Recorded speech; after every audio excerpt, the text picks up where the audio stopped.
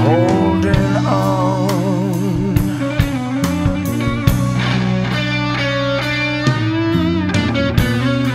Once again.